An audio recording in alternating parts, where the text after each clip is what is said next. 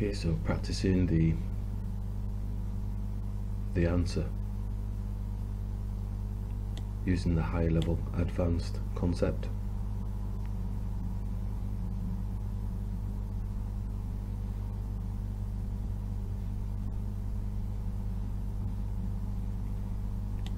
Just developing nice and steadily.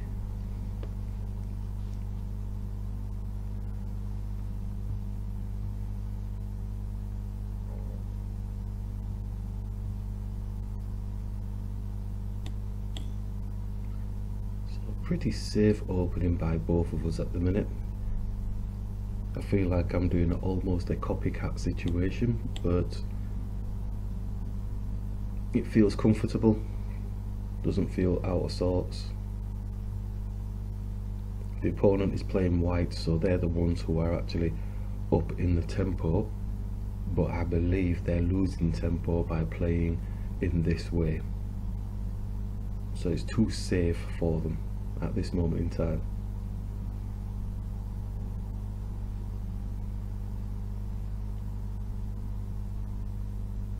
So we are just going to cross through the centre here. What's the target points? What are the weak points? Now that we've both castled, the opponent can say the same thing that I am about to say now. This area is weak, it's only supported by the king. This pawn is weak-ish because it's supported by the knight and it's supported by the king. But the knight is weakly again supported by the bishop. So in essence, it's not a strong defense. We've got the same sort of position. So we're weak in those areas that we've just mentioned. So it's trying to maintain a strength position through attack rather than defending.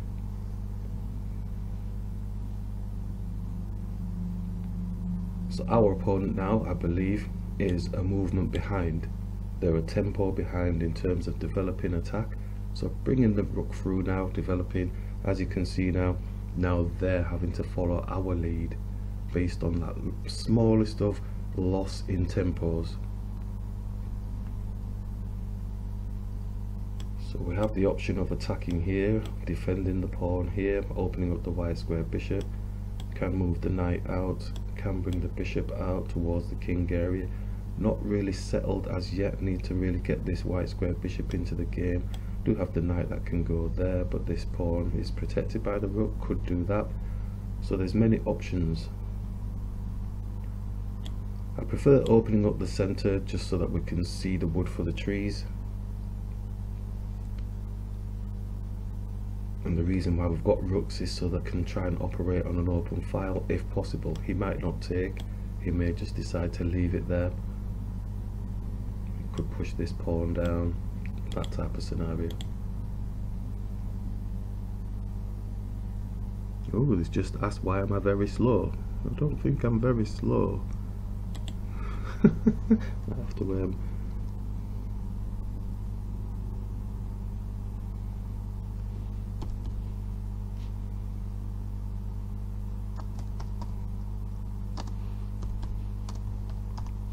45 minutes 15 second game.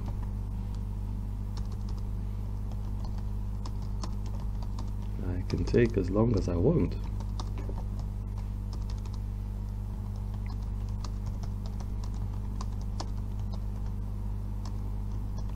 Can't I?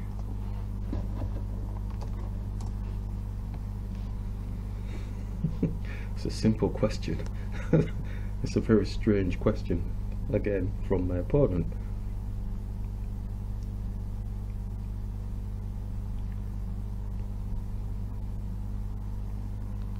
So they've pushed here and like we said we could take this pawn just take it off the board. No messing I think what they're wanting to do with that question is make you then start moving fast because they're quite they're quite fearful. With this opening that they've done here it's not showing confidence in their ability. So they've put something in the chat here why are you very slow? So that then in your brain you think oh I better start moving fast. I better start making mistakes. So that's the psychology behind chess you know and the chat that goes on online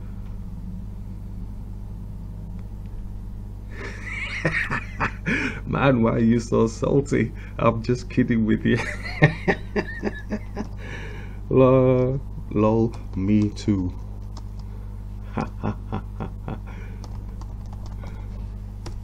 I must be going on a crazy one, but hey, what can you do? so it takes, and we can just capture here.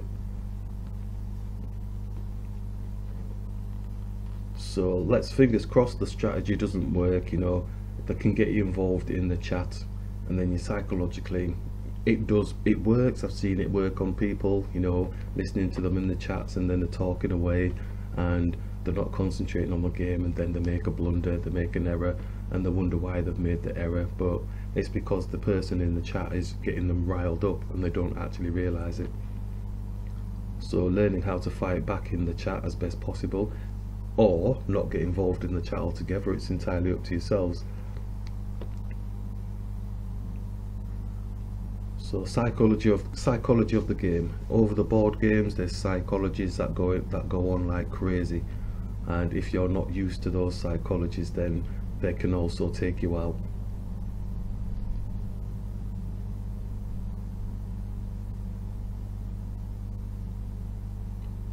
so now they've gone for a deep think it looks like and the rook takes and as we know rooks don't have any place in the center of the board. They lose tempo they have no um, they have no benefit. Unless you're going for a, a really good sacrifice with the rook in the center of the board then yeah go for it. But if it's not going for a, a really good sacrifice that's really forcing a good position on the board I wouldn't waste my time because you don't get that time back. And this opponent now is like two tempo behind now. Let's put the rook there because we've got a two on one on the pawn with the bishop. So he's supporting it with his rook on this side here. So we do have options. We don't need to rush anything. And we can go here with our bishop attacking his rook that might be small potatoes though they're easily defended he just moves the rook out of the way Oh, we could bring the rook across, we could develop the knight, maybe, no, not yet, not yet. Maybe push a pawn, push a pawn. Yeah, I think bringing the bishop here looks okay. It's attacking a higher piece. If he moves, we maybe potentially can take the bishop off the board. And then we've got the two on one here, but I think his knight will probably come and defend coming this way. So it's not too bad but we do like to try and obliterate the center and try and gain some sort of um, advantage. Seems to be working okay for us at the moment. Like we say rooks don't have any place in the center of the board. He's now probably about three tempo behind three moves behind. So we'll just grab the bishop here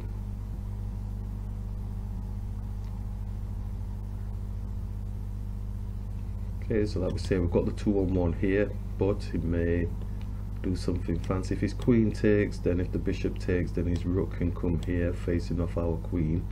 So that might not be a good situation. So we might not be taking, unless of course we take with the queen, and then we can move the queen around. Yeah, so he does take with the queen. And if we take with our queen, mm, take with the queen, his rook comes across. If we take with the bishop, his rook comes across. We do have pawn supporting, which is also attacking the knight. But then his knight moves. So his knight moves here. Or could move back here. Could move back there, there. Bishop's on the pawn, his rook's on the pawn. Push this pawn to support. Could push this pawn down to attack. Take that pawn. Okay, alright, let's take with the bishop. So we think he's coming across here so we can push here onto the knight don't really know where the knight's going to go could come around here or something could even come there because the queen's protecting.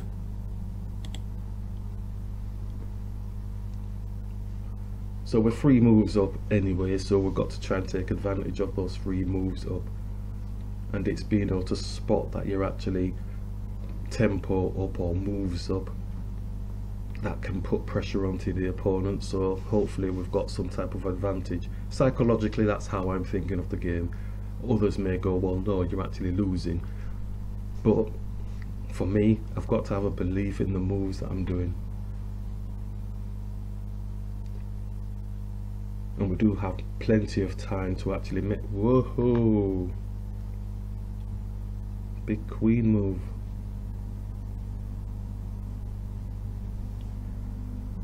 Queen has come all the way to attack the king here.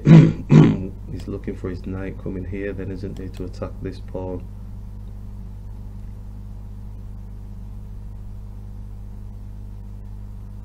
Yeah, so if we did push here, his knight drops there, then we're checkmated.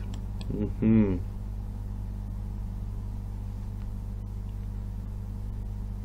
Mm.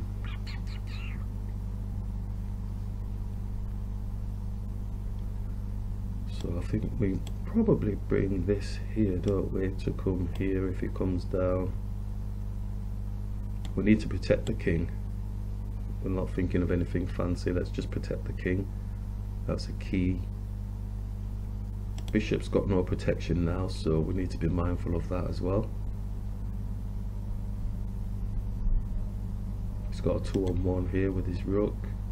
This bishop's eyeing up our knight So there's things going for for them at the moment as well.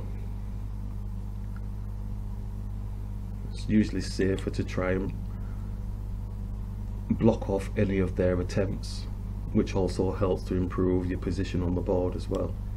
So if you have a look through the knight is the pawn, and it does come down with the knight anyway. So I'm just going to bring the queen here.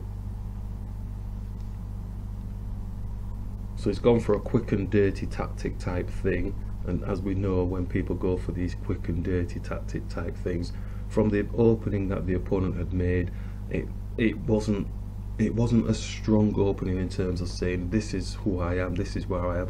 Um, they waited for us to sort of not explode out but to get a good position on the board. We, we're three moves ahead of them and now they've chosen to actually do their quick and dirty tactic.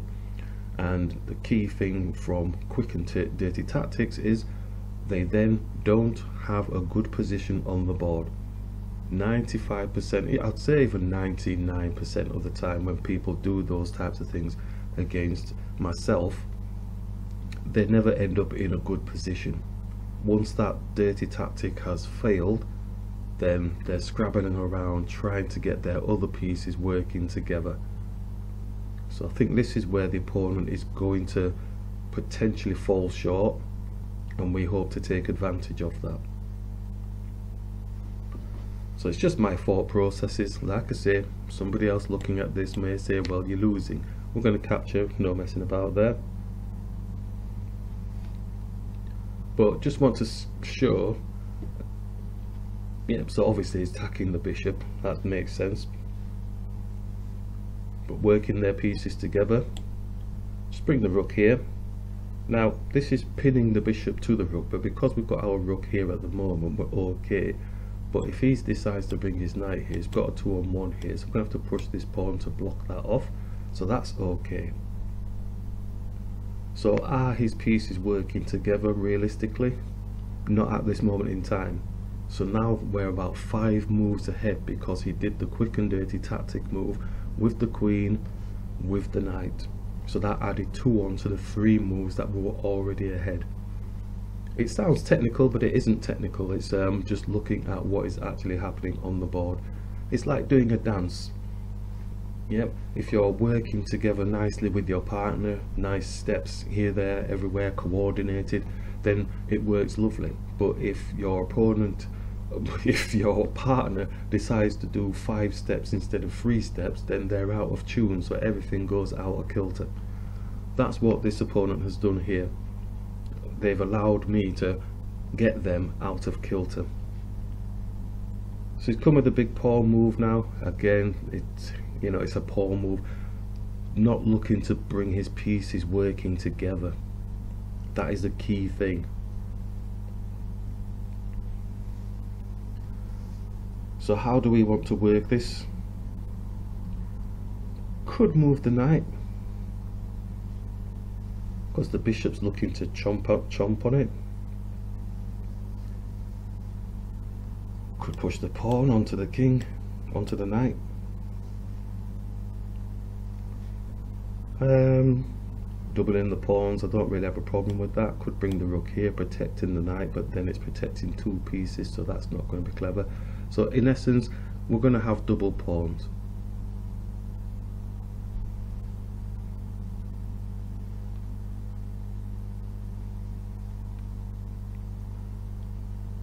So we can work with double pawns. I'm just eyeing up the position, just making sure that we're going to be okay.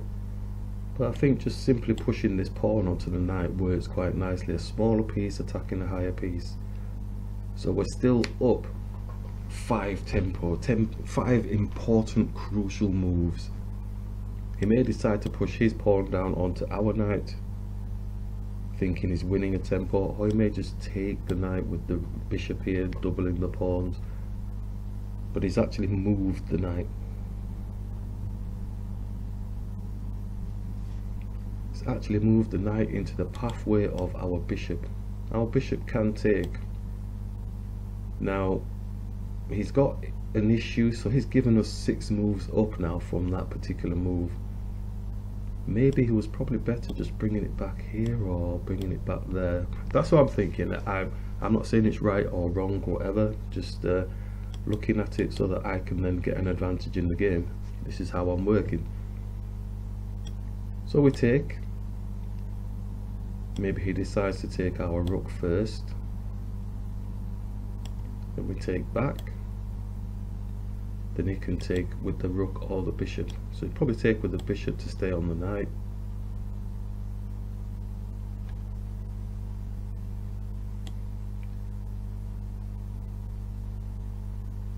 Hmm.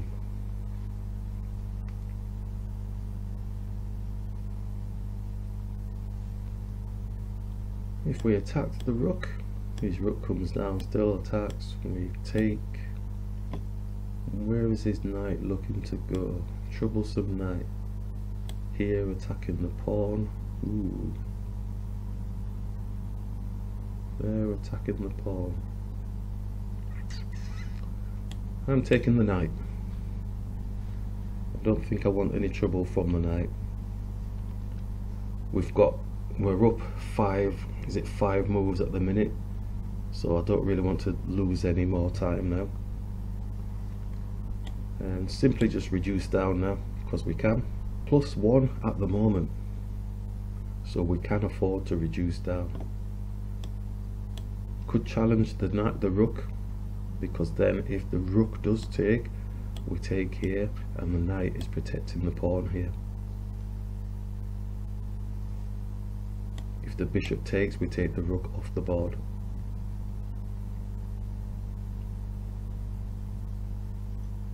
So to gain the smallest, tiniest of advantages, we're plus one at the moment.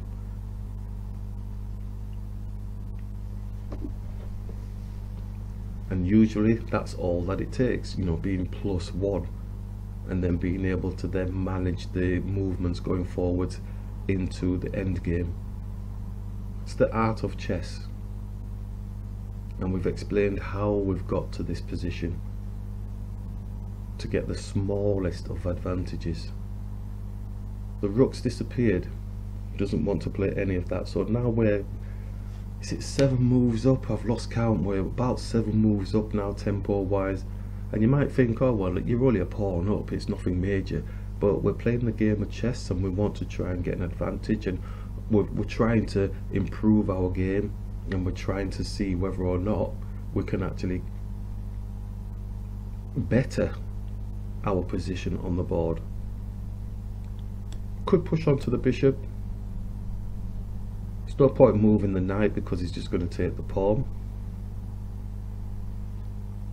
Could bring the rook up and attack his uh, pawn here. Bishop takes, pawn takes, he moves down. We're still owning this file at the minute. Get the king across into the center a little bit. Maybe block off his rook. It's all long, long-winded movements, but it's okay.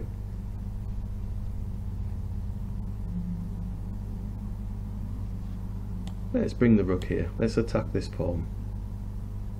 We've always said we don't mind doubling this pawn up. Then make some inroads here. Maybe, yeah. All basic chess. We do like the rooks owning the open files as best possible. But if we do get the opportunity and if we can take, maybe once the king gets to here, he'll be looking to mobilize his bishop somehow. Actually he's not done any of that so.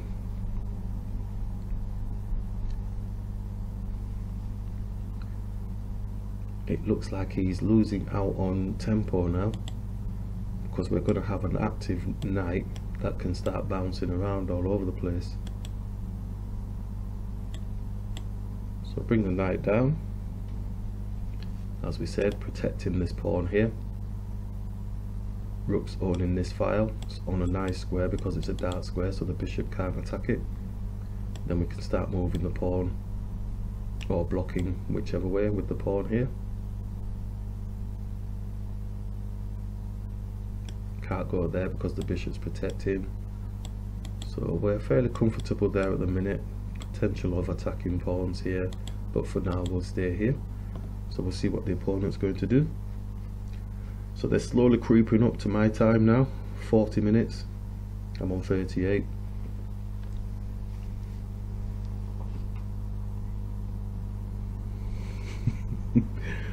there's not much chat going on oh dear when the reality kicks in on a game especially after the quick and dirty tactic thing hasn't worked it does make me laugh so oh it's pawn pushing his pawn pushing now, we can basically attack this pawn. His bishop can come in front here, but then we can attack the bishop. So then he loses the pawn.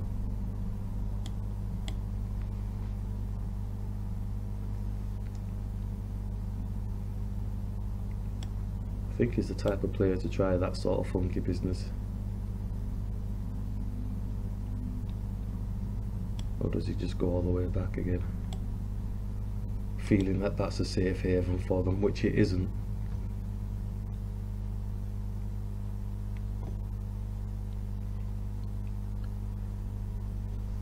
So I've got to be willing to play the longer games. This is why I'm excited to be in this position because this is playing the longer game and quite a high percentage of players um, really don't like these types of end games.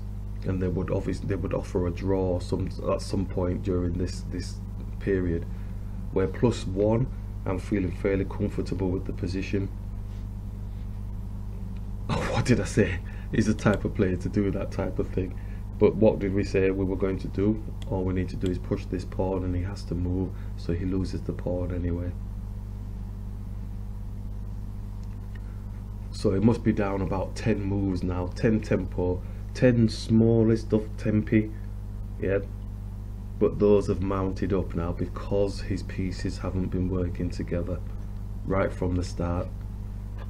The opening was very safe. It showed that they knew what the pieces did you know how to place them but they were being placed in places that really didn't benefit or give them any advantage.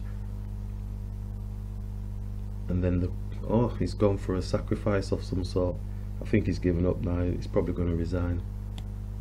Let's just capture here. Yeah, there'll be a series of quick moves and then resignation. So he would have only been down two pawns. He could have brought his bishop back and played on. Series of quick moves and then done. So we just go here with the knight attacking the pawn here or we can always bring the knight back. Just got to be careful because I don't want to make a boo-boo. Uh, yeah let's go here and attack the pawn.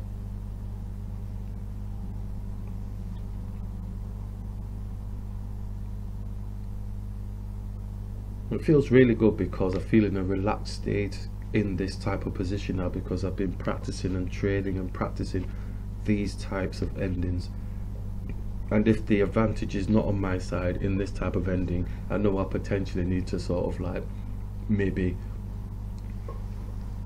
resign. You can still go because the opponent can uh, make a mistake.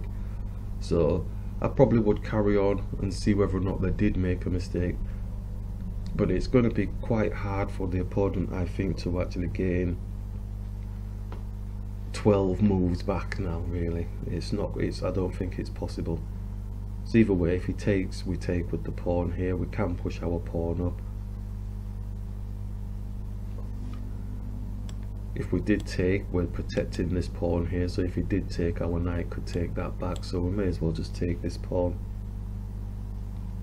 So I think this one is um, kind of done now. I'll just capture with the knight here.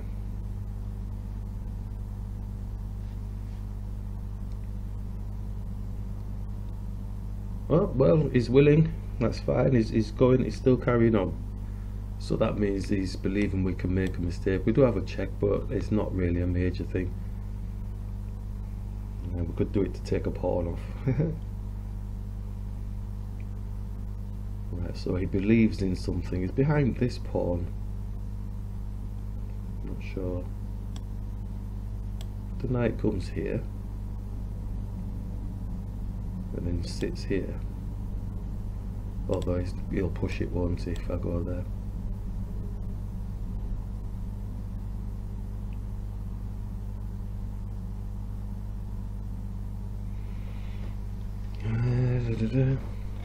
these types of endings I focus on the main pieces that I've got on the board and sometimes I forget what the pawns can do. If we push this, pushes down maybe.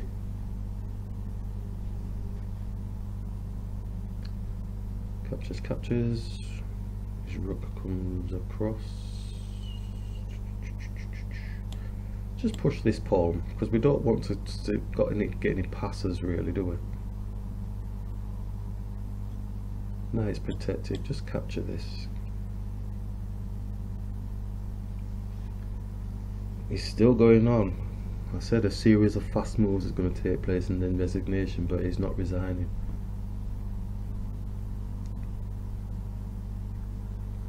But he's not resigning. What does he know? Still feeling comfortable. Rook can put a check, but where am I going? knight can still put the check but then it's too close to the rook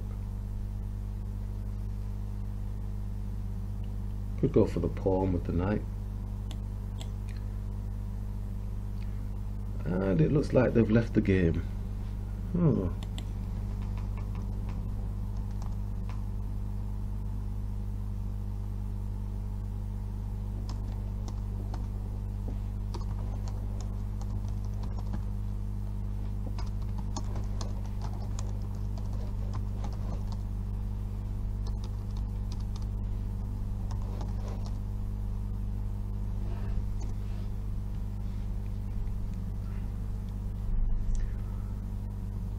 Okay, well, um, looks like they have left the game. I don't know where the resign button is. Um, it's right there, so I'm not too sure. Again, it's one of those.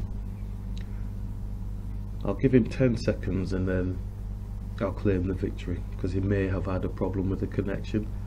Doubt it very much, but we'll give them the benefit of the doubt. I've actually put, oh, what happened to your connection in the chat? Obviously, they're not going to come back. Okay, claim victory. Right, have a quick look at the analysis on that.